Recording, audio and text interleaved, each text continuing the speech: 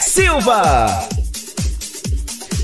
Alô, meus amores, um grande abraço. Mais uma vez já estamos de volta e com mais informações do Auxílio Brasil, também da corrida presidencial. Saiu mais uma pesquisa e isso, essa pesquisa representa o quê? Para os beneficiários do Auxílio Brasil. A possibilidade de um retorno do auxílio emergencial, o governo tem. Como trazer de novo aí o auxílio emergencial? O governo tem até o mês de julho, mês 7. Pode acontecer isso, Alex? Há uma possibilidade? O governo mira o retorno do auxílio emergencial? Você vai entender através dessa, dessa pesquisa que foi anunciada, tá? Olha, a folha está praticamente pronta, dia 13 agora já fecha a folha.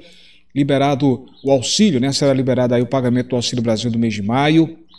Novos benefícios serão liberados, inclusive mais famílias passarão a receber 600 reais, outras famílias passarão a receber mil reais e também aquelas 12 parcelas de 100 reais. Novas famílias que fizeram, novos beneficiários que passaram aí pelo CRAS, fizeram as entrevistas, passaram, agora mais famílias irão entrar, ou seja, mais uma fila será zerada no Auxílio Brasil. Então, muita notícia para você. A partir de agora, você que faz parte do Auxílio Brasil, você que pretende entrar no Auxílio Brasil, acompanhe esse vídeo completo porque tem muita notícia boa, tá? Como é que você tá? Tudo bem? Como é que tá a família? Tá bem? Quero desejar um dia abençoado por Deus, que dê tudo certo para você, para toda a sua família.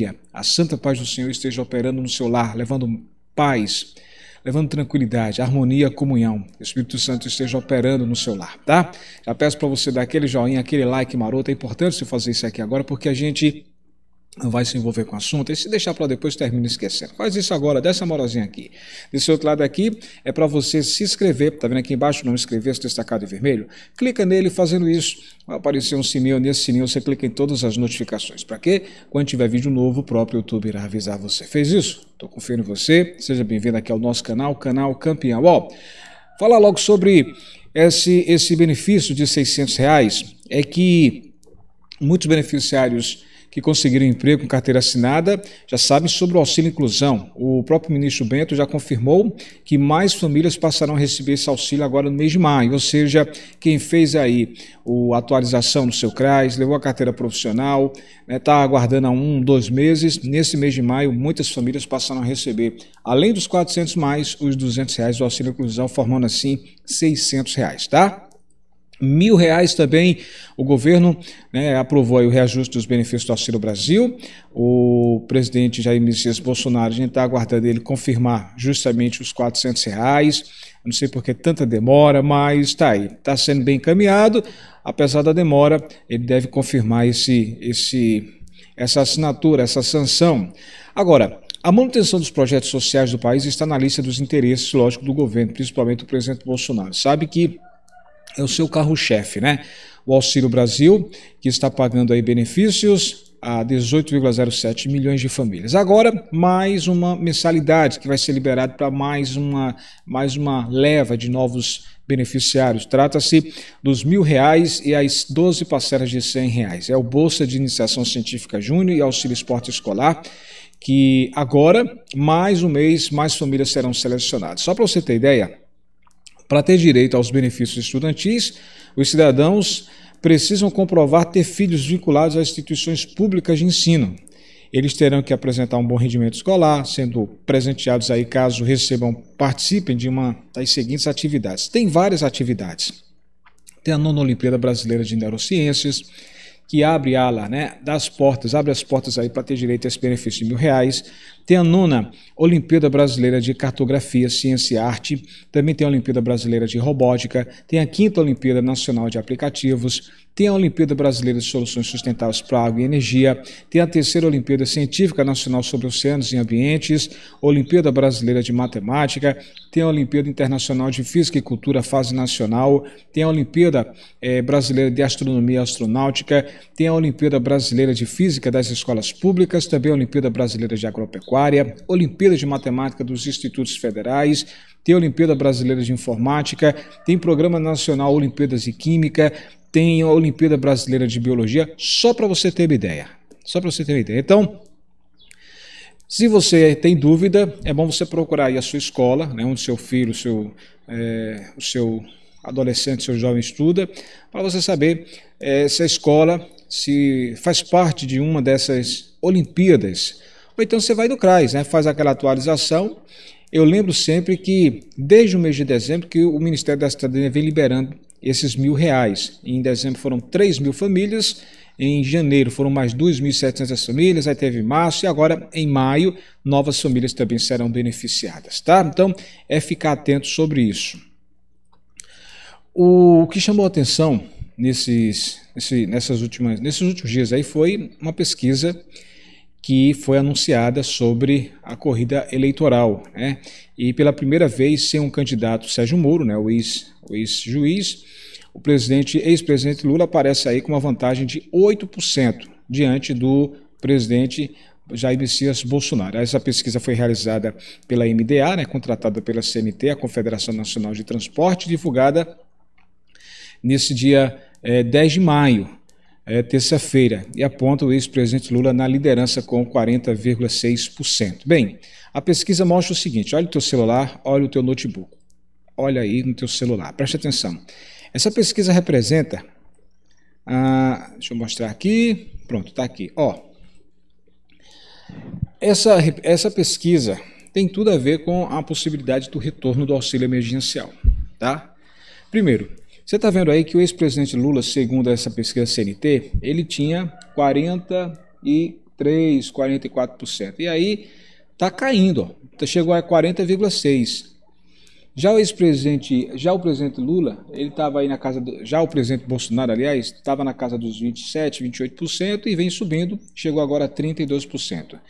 Essa faixa vermelha representa ex-presidente Lula, a faixa azul representa o atual presidente Bolsonaro, 40 a 32. O que chama atenção é que, segundo essa pesquisa, o ex-presidente Lula está tendo uma, uma, uma leve queda. Já o, já o presidente atual, Bolsonaro, ele vem subindo nas pesquisas, ou seja, essa diferença atual é de 40 a 32, ou seja, aproximadamente 8% em média, 8% em média. Os, os demais, né, Ciro Gomes tem aí com 7%, aí vem os outros candidatos também, é feito o João Dória tem 1,1%, aliás 3,1%, também tem o próprio André Janones, enfim. O que é que chama atenção?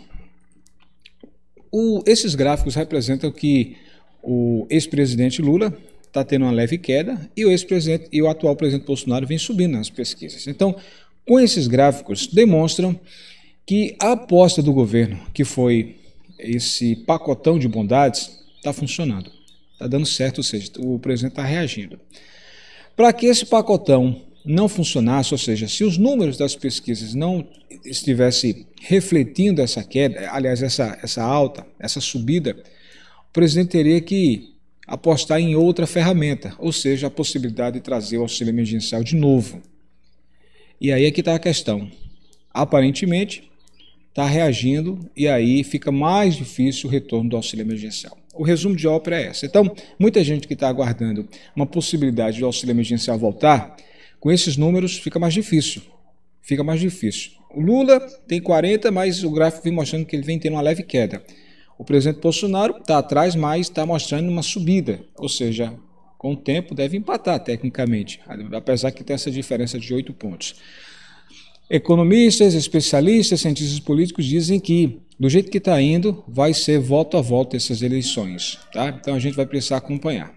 O Alex, quer dizer que se as pesquisas demonstrarem, começar a demonstrarem uma queda do presidente Bolsonaro, isso quer dizer que ele vai ter que mexer, vai ter que fazer algo diferente? Esse plano de pacotão de bondades não seria suficiente? Exatamente. Então, além do pacotão de bondades, ele teria que, no mínimo, trazer o auxílio emergencial de volta. Porém, com esses números aí, com a alta que está acontecendo com ele, segundo essa pesquisa, nem tão cedo eles vão querer trazer o auxílio emergencial de volta, tá? A prorrogação. Então, esse é o estudo feito aí por analistas, comentaristas, e a gente fica na expectativa, tá? Outra notícia que chama atenção você conhece o Gustavo Lima, o cantor Gustavo Lima? Rapaz, ele postou um vídeo que está tá chamando muita atenção. Foi sobre. Ele estava no carro e falou o seguinte: o carro começou a faltar combustível, né? Estava entrando já na reserva e ele preocupado. E o que chamou a atenção foi que quando ele chegou próximo do posto de gasolina, quando ele abasteceu é, e viu lá o valor, ele ficou: Nossa, como tá caro! Como tá cara a gasolina! Eu fico pensando: o Gustavo Lima ele está onde? Ele não está observando isso? Olha só o que disse o cantor Gustavo Lima. Tudo tá caro, Gustavo. Gustavo hoje é o artista mais bem pago, né? É o, o artista mais bem pago, inclusive está faturando muito mais do que o rei Roberto Carlos. Ele disse o seguinte: acompanha aí. Aqui, galera, ó, isso aqui acontece só comigo ou acontece com vocês também? Minha gasolina tá pra. Minha gasolina tá pra acabar, só tá o fio da rabiola, cara. Eu no meio desse trânsito. Imagina se acaba, hein? Meu Deus do céu, já puxei o posto mais perto aqui. Sangue de Jesus tem poder, vai me salvar. Olha ele aí, ó. Olha ele aí, ó. Cara de Deus. Cara, por que você não abasteceu o carro, velho? Cara, não tá. Aqui, é velho. Tá só fio, cara. Presa gasolina. Cara de Ah, Deus. E aí, bonitão, beleza? Completa aí pra mim. Quanto tá, o- quanto tá o litro aí? Gasolina Gasolina? tá 5,27. Mas qual? Oi? Qual gasolina? A aditivada tá 8,2 e a comum tá 7,67. Falei errado, falei foi o preço do álcool. Cara de Deus, tá mais fácil andar de a pé então, aí. Bota uns, bota uns 20 reais aí, só pra mim chegar ali mesmo, só a poeira. Olha. O que é? Quanto você botou lá? 70 litros. Você vai pagar. Cara de Deus. Cara. Vou te contar, gente. É. É trabalhar e cantar, porque. Então abrir um posto. Difícil, velho. Pois é, é uma aventura, né? O Gustavo Lima, o cantor, né? Muito bem pago e ficou, nossa, como tá caro gasolina, né? É realidade. Eu sempre digo, quando a gasolina sobe, o diesel sobe, tudo sobe. Mesmo quem não tem carro, não tem moto, sofre com os aumentos, né?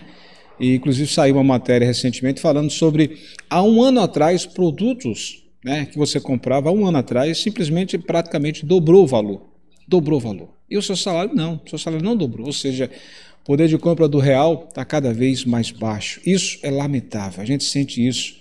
Por isso que tem tanta gente enfrentando a pobreza, enfrentando a fome, dizendo: meu dinheiro não está rendendo. Realmente não rende. Quem faz a feira, a dona de casa sabe. Quem faz a feira sabe justamente isso, né? Que está difícil até você fazer compras com dinheiro.